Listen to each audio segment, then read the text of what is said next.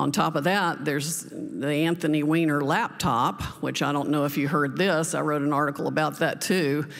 675,000 Clinton emails when they got Anthony Weiner's laptop in a search warrant because of all his sex perversion issues.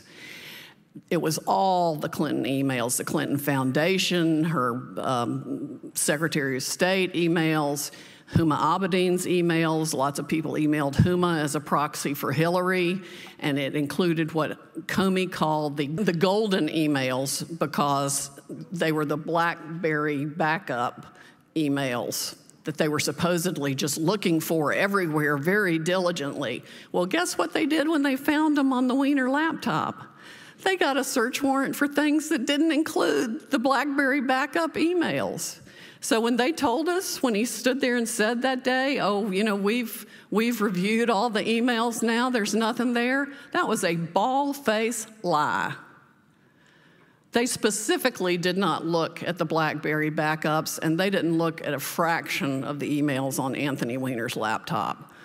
So, one of the things, if I were the president, I'd do is demand the Anthony Weiner laptop and get it to the most trusted person in the military to take apart everything on it and then start using it.